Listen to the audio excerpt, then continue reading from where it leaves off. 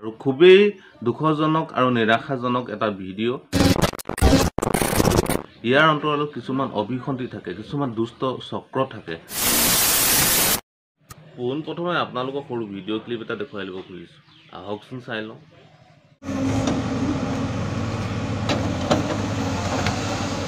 Đang bài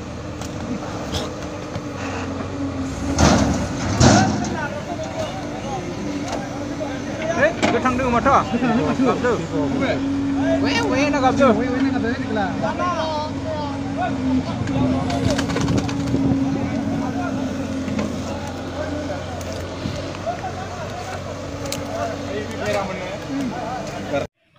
ইতিমধ্যে আপোনালোকে ভিডিঅ' ক্লিপটো দেখিলে।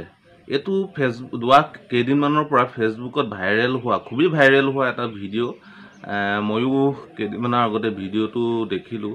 আৰু খুবেই দুখজনক আৰু নিৰাশাজনক এটা ভিডিঅ' আপোনালোকেও চাগে ভিডিঅ'টো দেখি যথেষ্ট চিন্তিত হৈছে। আপোনালোকৰ দৰে ময়ো চিন্তিত হৈছোঁ আৰু দুখো পাইছোঁ ভিডিঅ'টো দেখি। কাৰণ শ শ গাহৰি গাড়ীয়ে গাড়ীয়ে গাহৰি এনেদৰে পুতি পেলাবলগীয়া হৈছে। স্বাভাৱিকভাৱে মৃত্যু হোৱা গাহৰি নহয় এইবোৰ সেইটো কথা আপোনালোকেও জানে ময়ো জানো। কাৰণ এনেদৰে স্বাভাৱিক মৃত্যুত ইমান গাহৰি কেতিয়াও নমৰে। গতিকে নিশ্চিতভাৱে কিবা এটা অস্বাভাৱিকতা তাত থাকিব লাগিব কিবা ৰোগ ব্যাধি এটা নিশ্চয় হ'ব লাগিব। যাৰ কাৰণে ইমানবোৰ গাহৰি মাৰি পেলোৱা হৈছে নহ'লে মৰাৰ পিছত এইখিনি পুতি পেলোৱাৰ ব্যৱস্থা কৰা হৈছে। এইটো ভিডিঅ'টো ৰূপহী বক্সা জিলাৰ কোনোবা এখন ঠাইৰ ভিডিঅ' ভিডিঅ'ৰ ভাষাখিনি মই ঠিক ভালদৰে বুজিব পৰা নাই আৰু বুজি পোৱাহেঁতেন কথাখিনি বিশ্লেষণ কৰিবলৈ অলপ সহজ হ'লহেঁতেন। বাৰু যাই কি নহওক ভিডিঅ'টো দেখি খুব বেয়া লাগিছে। এতিয়া কথা হ'ল কি কিছু কিছু জেগাত এনেদৰে কিছুমান বেমাৰ আহিছে সেইটো সঁচা। দুই এটা ক'ৰবাত কিবা এটা অচিন বেমাৰ অচিন ৰোগত গাহৰি ভুগিছে বা মৃত্যু হৈছে কিন্তু কেতিয়াবা কি হয় দুই এটা গাহৰি এনেদৰে মৰাৰ পিছত চৰ মানে কিছুমান চৰকাৰী ব্যৱস্থা থাকে বিভাগীয় ব্যৱস্থা থাকে গতিকে পশু বিভাগীয় হওক বা চৰকাৰৰ ফালৰ পৰা বাকী বহুতো নিৰোগী বা ভাল গাহৰিকো মাৰি পেলোৱাৰ নিৰ্দেশ দিয়া হয়। যাত এইটো এটা সংক্ৰমণ নহওক বা অন্য গাহৰিলৈ নাযাওক বা এই বেমাৰৰ পৰা মানুহৰ শৰীৰলৈ কিছুমান বেমাৰ বিয়পিব পাৰে খুচৰিব পাৰে সেই ভয়তে কিছুমান গাহৰি মেলো মাৰি পেলোৱা হয়। কিন্তু তাৰ ভিতৰত কিছুমান কথা থাকে কেতিয়াবা কেতিয়াবা এনেকুৱা হয় ইয়াৰ অন্তৰালত কিছুমান অভিসন্ধি থাকে কিছুমান দুষ্ট চক্ৰ থাকে। আৰু এই দুষ্ট চক্ৰবিলাকে কি কৰে অসমৰ থলুৱা যিখন গাহৰি বজাৰ এইখন সম্পূৰ্ণৰূপে ধ্বংস কৰি দিব বিচাৰে। আৰু এই দুষ্ট চক্ৰবিলাকে কি কৰে অসমৰ থলুৱা যিখন গাহৰি বজাৰ এইখন সম্পূৰ্ণৰূপে ধ্বংস কৰি দিব বিচাৰে। আৰু ইয়াৰ উদ্দেশ্য মাত্ৰ এটাই কাৰণ সেই অসাধু ব্যৱসায়ীবিলাক আমাৰ থলুৱাৰ গাহৰি গাহৰিৰ পৰা বিশেষ একো লাভান্বিত হ'ব নোৱাৰে। তেওঁলোকে কি কৰে বাহিৰৰ পৰা কম দামত গাহৰি কিনি আনি অসমত বজাৰ দখল কৰি অসমত অধিক দামত বিক্ৰী কৰি অধিক মুনাফা লাভ কৰিব পাৰে।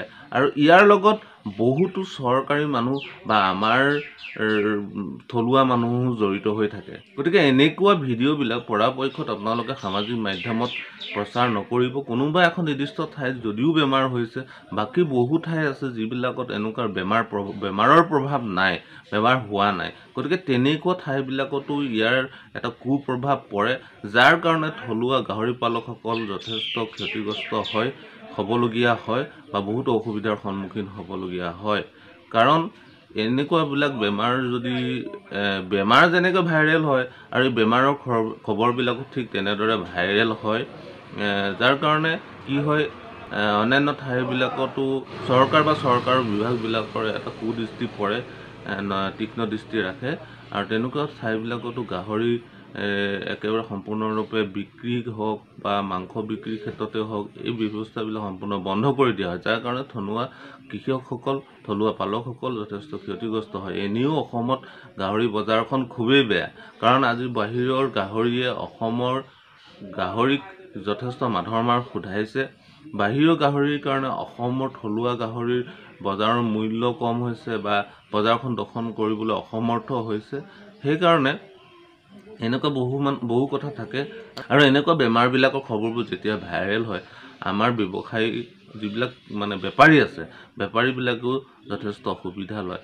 আপোনাৰ গাহৰিটো উচিত দাম নিদিব বা আপোনাৰ গাহৰিটো ভাল মূল্যত বিকিবলৈ যথেষ্ট অসুবিধা হয়। গতিকে এনেকুৱা খবৰবিলাক পৰাপক্ষত আপোনালোকে সামাজিক মাধ্যমত শ্বেয়াৰ নকৰিব বা ভাইৰেল নকৰিব।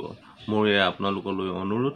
আৰু এটা কথা এইখিনিতে কৈ থওঁ বেমাৰ প্ৰকৃততে যদি বেমাৰো লাগিছে ইয়াত চৰকাৰখনৰ কৰণীয় আছে বা বিভাগী চৰকাৰখনৰ বিভাগবিলাকৰ ইয়াত কৰণীয় আছে।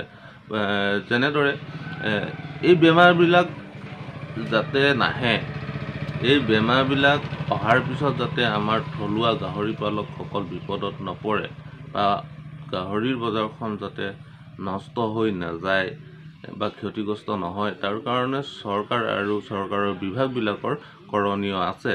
তেওঁলোকে এই বেমাৰবিলাকৰ প্ৰতিৰোধৰ বা প্ৰতিষেধকৰ ব্যৱস্থা কৰিব লাগে। গাহৰিবিলাক মাৰি পেলোৱাৰ পিছত যাতে পালকসকলে এটা উচিত ক্ষতিপূৰণ পায় তাৰ ব্যৱস্থা কৰিব লাগে। আৰু চৰকাৰখনে এইবিলাক কথাত এটা নিলুপ্ততা দেখুৱায়। তেওঁলোকে কোনো ব্যৱস্থা গ্ৰহণ নকৰে আৰু তেওঁলোকে আমাৰ থলুৱা কৃষক বা পালকসকলৰ কথা কেতিয়াও নাভাবে। তেওঁলোকে নিজৰ নিজৰ মুনাফাৰ কথা ভাবে তেওঁলোকে নিজৰ নিজৰ সুবিধাৰ কথা ভাবে। গতিকে এই ব্যৱস্থাবিলাকৰ লগত এটা খুব আভ্যন্তৰীণ কথা আছে। এনেকুৱা এই গোটেই ব্যৱসায়ীবোৰৰ লগত বহুতো চৰকাৰী বিষয়া কৰ্মচাৰী মন্ত্ৰী মদাগৰবিলাক জড়িত হৈ থাকে। গতিকে তেওঁলোকে আমাৰ কৃষক মৰক সাজক কৃষকৰ যিমান ক্ষতিগ্ৰস্ত হওক সেই কথাবোৰ চিন্তা নকৰে। যোৱা কিছু বছৰত আমাৰ এনেও কঁকাল ভঙা আমি অৰ্থনৈতিকভাৱে কঁকাল ভঙা আৰু আমাৰ অসমত তেনেকুৱা ধনী মানী গাহৰি পালক নাই। যিসকল গাহৰি পালক আছে কোনোবাই এটাই পোহক বা দহটাই পোহক এশটাই পোহক বৰ কষ্টত গাঁঠি দং ভাঙি গাহৰি পালন কৰিবলগীয়া হয়। এটা লক্ষণীয় বিষয় হৈছে যে এই বেমাৰবোৰ প্ৰতি বছৰে আহে। এটা নিৰ্দিষ্ট সময়ত প্ৰতি বছৰে আহে। আৰু অহা মাত্ৰকে আমাৰ সম্পূৰ্ণ থলুৱা পশুপালকসকলক থলুৱা গাহৰি পালকসকলক এটা মাধমাৰ দি গোটেই বছৰটোলৈ কোঙা কৰি থৈ যায়। আৰু তাৰপিছত কঁকালটো পোনাই কোনোমতে আকৌ আৰম্ভ কৰেহে মাত্ৰ আকৌ কিবা নহয় কিবা এটা ওলায় গতিকে আমাৰ পশুপালকসকলৰ একেবাৰে নিস্তাৰ নাই। আমি ক'ভিডৰ লগত যুঁজাৰ পিছত আমি কোনোমতে অকণমান টনকিয়াল হৈছোঁ। কিবাকৈ কষ্ট কৰি অকণমান দুবেলা দুমুঠি খাব পৰাকৈ ভাতমুঠি যোগাৰ কৰিছোঁ। তাৰপিছত আকৌ আহে বান। বানত সৰ্বশান্ত হেৰুৱাই আকৌ কিবা কৰি কিবা নহয় কিবা এটা উপায়েৰে আৰ্থিক সচ্ছলতাৰ কাৰণে কিবা নহয় কিবা এটা কৰিবলৈ আৰম্ভ কৰে। আকৌ তাৰ ওপৰত ভূতৰ ওপৰত দানহ পৰাৰ দৰে আকৌ নতুন কিবা এটা ওলায়। আমাৰ বহুতো নিবনুৱা যুৱ যুৱতী আছে যিসকলে শেহতীয়াকৈ গাহৰি পালনৰ লগত জড়িত হৈছে। আৰু গাহৰি পালন কৰি বহুতো নিবনুৱা যুৱক যুৱতীয়ে স্বাৱলম্বী হ'ব পাৰিছে। গতিকে এনেকুৱাবিলাক হৈ থাকিলে আমাৰ ভৱিষ্যত প্ৰজন্মটো কেনেকৈ চলিব? গতিকে আমাৰ ভৱিষ্যত প্ৰজন্মটোক আমি সুৰক্ষিত কৰিব লাগিব আৰু সুৰক্ষিত কৰিবলৈ হ'লে আমাৰ এই ব্যৱস্থাবিলাক আমি খুব সুন্দৰভাৱে চলাই নিব লাগিব। তাৰ কাৰণে আমি প্ৰয়োজনীয় পদক্ষেপ ল'ব লাগিব। গতিকে চৰকাৰকো আমি কিছুমান কাম কৰিবলৈ বাধ্য কৰাব লাগিব। লগতে আপোনাৰ গাহৰি ফাৰ্মখনত যাতে বেমাৰ আজাৰ নহয় গাহৰি ফাৰ্মখন যাতে সুৰক্ষিত কৰি ৰাখিব পাৰে তাৰ কাৰণে কিছুমান ব্যৱস্থা আপুনি নিজেও গ্ৰহণ কৰিব লাগিব। আৰু সেইকাৰণে পৰাপক্ষত আপোনাৰ গাহৰি ফাৰ্মখনত যাতে বেমাৰ নালাগে তাৰ কাৰণে জৈৱিক সুৰক্ষাৰ প্ৰতি গুৰুত্ব দিব ফাৰ্মখন পৰিষ্কাৰ পৰিচ্ছন্ন কৰি ৰাখিব পটাছ ফেনাইল আদি ব্যৱহাৰ কৰিব। আৰু যিসকলে খুব ধুনীয়াকৈ পক্ষী ফাৰ্ম বনাই বিজ্ঞানসন্মতভাৱে পুহিছে সেইসকলে আপোনাৰ ফাৰ্মখনৰ সোমোৱাৰ বাটতে এটা ফুটপাথৰ ব্যৱস্থা কৰিব যাতে ভৰিখন পটাছ পানী ধুইহে আপুনি ফাৰ্মলৈ প্ৰৱেশ কৰিব পাৰে আৰু ওলাওঁতেও ঠিক তেনেদৰে ভৰিখন পখালি সোমোৱাব আহ, ওলাব পাৰে। আৰু সময়ে সময়ে চেনিটাইজ কৰিব ফাৰ্মখনত আৰু যাতে বাহিৰৰ মানুহ বাহিৰৰ বেপাৰী বাহিৰৰ মানুহ আপোনাৰ ফাৰ্মখনত প্ৰৱেশ কৰিব নোৱাৰে সেইটোৰ প্ৰতি গুৰুত্ব দিব নজৰ ৰাখিব। বাহিৰৰ চৰাই চিৰিকটি আদি যাতে আপোনাৰ ফাৰ্মখনত নোসোমায় চৰাই চিৰিকটিবোৰৰ কিছুমান বেমাৰ সোঁচৰে গতিকে এই কথাবিলাকৰ ওপৰত দৃষ্টি নিক্ষেপ কৰিব আৰু সদায় পৰিষ্কাৰ পৰিচ্ছন্নতাটো গুৰুত্ব দিব ফাৰ্ম এখন পৰিষ্কাৰ পৰিচ্ছন্নকৈ ৰখাটো এটা ভাল দানা খোৱাৰ সমানেই কাম কৰে। গতিকে এই কথাটো আপোনালোকে গুৰুত্ব দিব। সুযোগ সন্ধানী কিছুমান অসাধুৱে যাতে আমাৰ এই থলুৱা উদ্যোগটোক ধ্বংস কৰিব নোৱাৰে তাৰ কাৰণে সজাগ আৰু সচেতন হওক।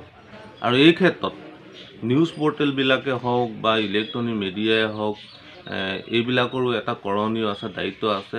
আৰু কেতিয়াবা কেতিয়াবা এই মিডিয়াবিলাকৰ কাৰণেও আমাৰ যথেষ্ট ক্ষতি হয়। তিলটোকে তাল কৰি তেওঁলোকে এনেকুৱাকৈ কথাবোৰ প্ৰচাৰ কৰে যেন সম্পূৰ্ণৰূপে গোটেই বস্তুটোৱে ব্যৱস্থাটোৱেই বেয়া বা এই গোটেই গাহৰি পালনৰ উদ্যোগটোৱেই যেন একেবাৰে সম্পূৰ্ণৰূপে বেমাৰী একেবাৰে যেন এলাগী বস্তু এনেকুৱা ধৰণৰ কিছুমান এটা কথা পৰিৱেশ আনে তেওঁলোকে। আৰু এইখিনিতে মই মিডিয়াৰ লগত জড়িত এই মিডিয়া পাৰ্চনসকলকো কৈছোঁ বা ইলেক্ট্ৰনিক মাধ্যমবিলাককো কৈছোঁ। আপোনালোকে আমাৰ উদ্যোগবিলাক ধ্বংস কৰাত উঠি পৰি নালাগিব। আমাৰ উদ্যোগবোৰ কেনেকৈ ৰক্ষা কৰিব পাৰি তাৰহে ব্যৱস্থা কৰিব বুলি আপোনালোকলৈ মোৰ অনুৰোধ আছে। গতিকে আমাৰ উদ্যোগবোৰ ধ্বংস কৰি আমাৰ থলুৱা ৰাইজ আমাৰ থলুৱা যুৱক যুৱতী নিবনুৱাসকলক যাতে আপোনালোকে ধ্বংস নকৰে তাৰ কাৰণে মোৰ আপোনালোকৰ ওচৰত বিনম্ৰ অনু- অনুৰোধ। আৰু আজিলৈ বৰ বিশেষ নকওঁ এইখিনিকে ক'বলগীয়া আছিল। পৰৱৰ্তী ভিডিঅ'ত বহুতে প্ৰশ্ন কৰে কি ভিটামিন খোৱালে গাহৰি সোনকালে ডাঙৰ হ'ব বা ওজন বৃদ্ধি হ'ব।